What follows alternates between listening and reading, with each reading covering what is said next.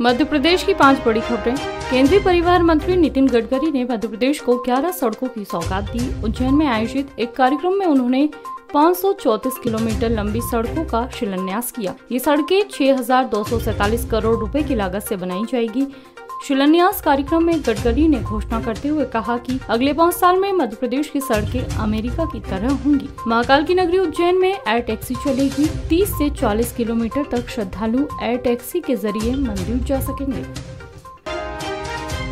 Ukraine में फंसे भारतीय नागरिकों की सुरक्षा को लेकर केंद्रीय मंत्री ज्योतिरादित्य सिंधिया ने कहा कि सभी नागरिकों की सुरक्षा को लेकर सरकार गंभीर है। मंत्री ज्योतिरादित्य सिंधिया ने कहा कि आज यूक्रेन के लिए एयर इंडिया की फ़्लाइट भेजी गई थी, लेकिन स्थिति सही नहीं होने के चलते फ़्लाइट वापस आ गई। सामान्य स्थिति होने पर भेजी जाएगी। मंत्री ने कहा कि यूक्रेन के हालात पर भारत सरकार नज़र रखे हुए हैं। वहाँ मौजूद लोगों को निकालने के लिए हेल्पलाइन नंबर से संपर्क किया जा रहा है। साथ ही विदेश मंत्री यूक्रेन सरकार से लगातार संपर्क में है।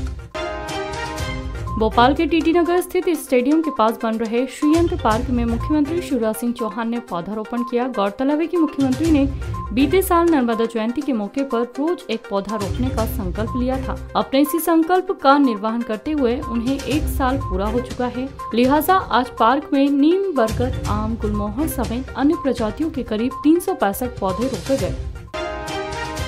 कांग्रेस अध्यक्ष अर्चना जायसवाल को हटाने के मामले ने राजनीतिक रूप ले लिया है। अर्चना जायसवाल को लेकर प्रदेश की सियासत भी गर्मा गई है। बीजेपी महिला मोर्चा की प्रदेश मीडिया प्रभारी नेहा बग्गा ने कांग्रेस पर हमला बोलते हुए कहा कि हनुमान चालीसा करवाने के कारण महिला कांग्रेस की अध्यक्ष अर्चना जायसवाल को हटाया गया। वहीं गृह मंत्री नरोत्तम मिश्रा ने इसे कांग्रेस का आंतरिक मामला बताते हुए तंज कसा कि कांग्रेस के अंदर इंजन खराब है और डिब्बे बदले जा रहे हैं।